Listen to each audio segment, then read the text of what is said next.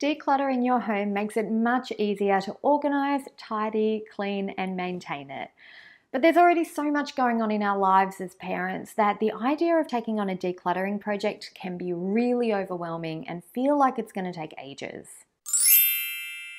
Maybe you'd like to go through your linen cupboard and declutter the extra towels and bed sheets that are crammed in there, making it really hard to put things away neatly. Maybe you want to clear out your kitchen drawers so that you only have the utensils you really need and you can get them out and put them away again easily when you're cooking. Maybe you're ready to get rid of a bunch of broken or never played with kids' toys now so that you don't end up with overflowing bedrooms or toy rooms at Christmas time. Or maybe you want to finally tackle the garage so that things like camping gear, car stuff, tools, and seasonal decorations all have a place to belong and don't get lost or damaged. But who has a big chunk of time to commit to a project like that? How can you get it done when the kids are home with you? How do you stop it from becoming a huge mess halfway through that just makes you want to give up again? The easiest way to declutter any part of your home is to do it one tiny step at a time.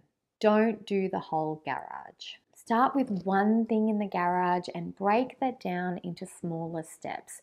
And I mean really small. You can try something like this. Decide to do the seasonal decorations in the garage first. One day you can set your phone timer for 10 minutes and during that time just throw away anything broken. Then come back another time and set your timer for 10 minutes and sort the decorations into occasions like Halloween, birthday, Christmas. Then come back another time, set your timer for 10 minutes and declutter just the Halloween decorations. You can put anything unwanted into a garbage bag or box and stick it in the boot of your car so that you can donate it the next time you're out and about. And then you just repeat that step whenever you have another 10 minutes until the Halloween decorations are done. Then you do the same steps for each occasion. Now the seasonal decos are done and when you're ready to take on another part of the garage or a different part of your home, you can start again. Does it take longer to declutter one tiny step at a time? If you add up every 10 minutes, it takes around the same time in total as it would if you did it all in one big day. But it's not overwhelming. You can do it around the kids there's no huge mess. And your timer gives you permission to stop without feeling guilty about it.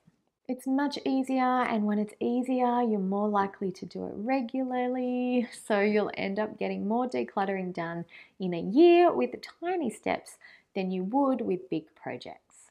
Every small step really does make a difference. I hope you found this helpful. If you're ready for next steps in taking care of your home, you might want to check out my free Simple Spring Clean checklist. It's an easy way to do a little spring cleaning without feeling overwhelmed. I'll leave a link below for you and I'll see you in the next video. Bye. One take wonder.